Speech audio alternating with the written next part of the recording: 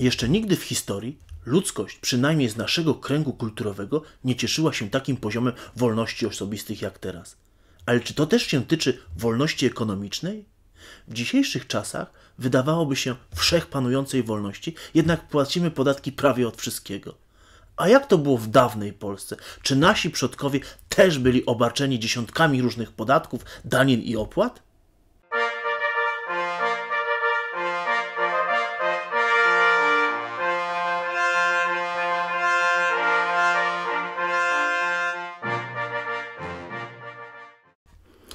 Dawnej Rzeczypospolitej skarb państwowy służył jedynie celom wojskowym wo i wojennym. Jego istnienie determinowały wydarzenia polityczne, mające najczęściej związek z obroną państwa lub, co miało miejsce bardzo rzadko, próbą realizacji polityki zagranicznej, wpływania na sytuację międzynarodową, czyli włączenia się do geopolitycznej gry. Aparat urzędniczy nie potrzebował środków finansowych pochodzących z podatków, gdyż żywił się sam z królewszczyzn. Mianowicie każdy urząd miał przypisane do swojej funkcji włości, które często z nawiązką wystarczały na pokrycie wszelkich wydatków związanych z pełnieniem urzędu, jak i dodatkowe źródło dochodów. System finansowy Rzeczypospolitej zbudowany był tak, iż finansowanie wojska należało do zadań króla, który środki na ten cel miał pozyskać z królewszczyzn, czyli dóbr królewskich składających się z majątków ziemskich i miast w całym kraju. Kwoty te nie zawsze wystarczały na pokrycie wydatków, dlatego szlachta nie kwestionowała potrzeby dokładania się w formie podatków. Jednak podkreślała, iż to nie może być regułą i powinno oczywiście spoczywać jedynie na barkach króla. Jedynym organem, który mógł nałożyć podatki na społeczeństwo, był Sejm. Bez zgody posłów król mimo inicjatywy ustawodawczej nie mógł w żaden sposób wymusić podatku. Ważne też jest to, iż podatki w większości były uchwalane doraźnie i jednorazowo, bez możliwości jego stałego poboru. Pomimo tego, że w Sejmie decyzje zapadały jednomyślnie, to w sprawach podatkowych uchwalano je większością głosów. Ten system głosowania nie naruszał tak ważnej dla szachty wolności, gdyż jeżeli posłowie danej ziemi nie akceptowali najwyższej kwoty podatku, to deklarowali niższą, a decyzję dotyczącą różnicy pozostawiali sejmikom. Powodowało to decentralizację władzy ustawodawczej, jednak za czasów panowania Zygmunta III Wazy, dzięki staraniom władcy i jego poważaniu, sejmiki na ogół przyjmowały postanowienia Sejmu. Uchwała podatkowa przybierała formę uniwersału poborowego, a zawarte w nim postępowania stawały się prawem i obowiązywały wszystkich. W XVII wieku aparat fiskalny dysponował kilkoma podatkami, które Sejm mógł nałożyć na społeczeństwo. Pierwszym z nich był podatek łanowy i szos, zatem podatek ze wsi oraz miast. Dzielił się on na dwa kryteria. Ze wsi podstawę jego wyliczenia stanowiła ziemia, czyli łanowe, a z, miasta majątek, czyli szos. Podstawą jego istnienia był uniwersał poborowy z 1578 roku i z małymi wyjątkami pobierany był do XVIII wieku. Łanowe wynosiło 1 zł od łanu osiadłego i był on płacony w połowie przez chłopa, a w połowie odliczany z płaconego przez niego podatku na kościół, czyli dziesięciny. Podatek dotyczył chłopów, szlachtę nieposiadającą poddanych, duchownych prawosławnych oraz ludzi wolnych a szatla, która posiadała ziemię i podanych, była z niego zwolniona. Nie tylko był płacony od gruntu, ale od całego inwentarza żywego oraz rzemiosła. W 1588 roku podatek miał być wybierany wedle ustaleń z 1578 roku, ale bez przysięgi na liczbę opodatkowanych łanów, co spowodowało znaczny spadek dochodu.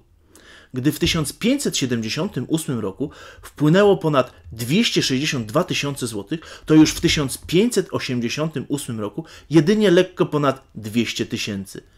Poza niechęcią ukazania prawdziwych ilości posiadanego areału przez szlachtę, rozziew powiększał się również z czasem poprzez zwolnienia z opłaty spowodowane zniszczeniami wojennymi lub klęskami żywiołowymi.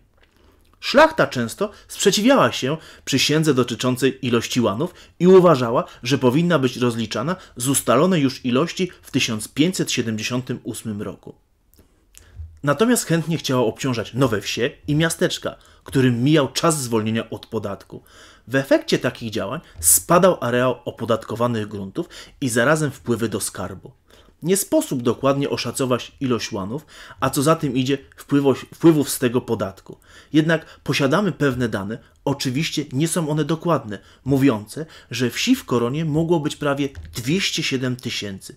Wynika z nich, że jakby tylko z łanu chłopskiego płacono 10 groszy, to do skarbu państwa mogłoby wpłynąć między 700 a 900 tysięcy złotych, przy czym, jak już wcześniej wspomniałem, uchwalany podatek w wysokości 1 złotego z łanu nigdy nawet takiej sumy nie osiągnął.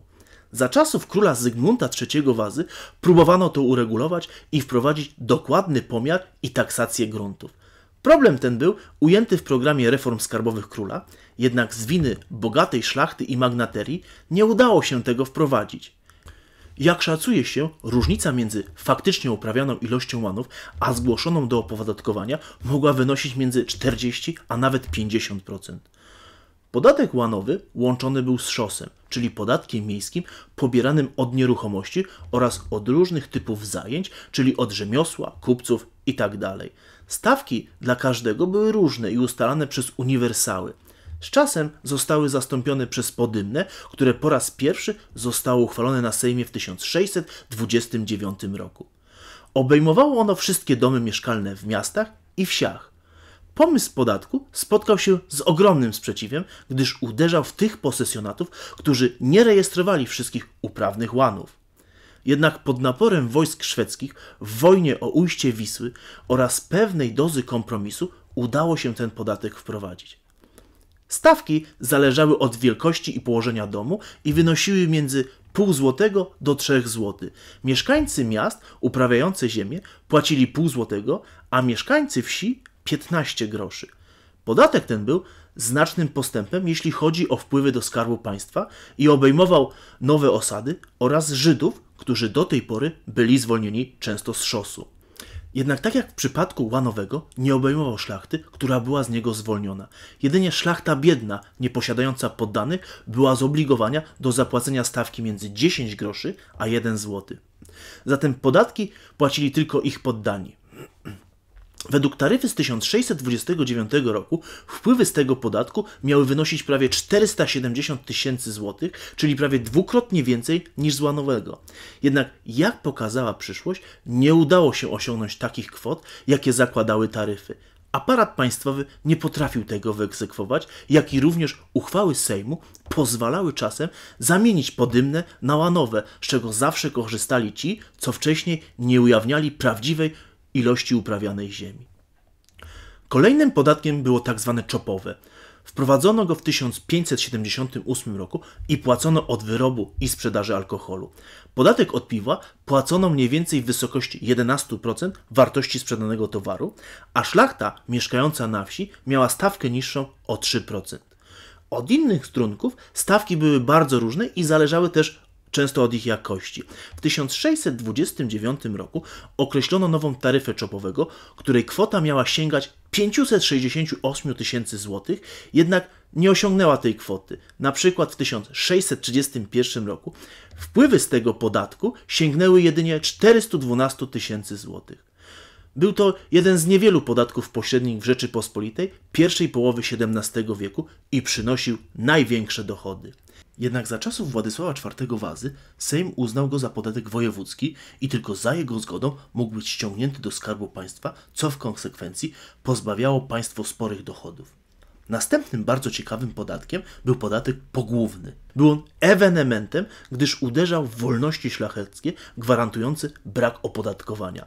Po raz pierwszy podatek ten nałożono w 1497 roku w związku z wyprawą Jana Olbrachta do Mołdawii, a następnym razem w 1520 roku podczas ostatniej wojny Polski z zakonem krzyżackim.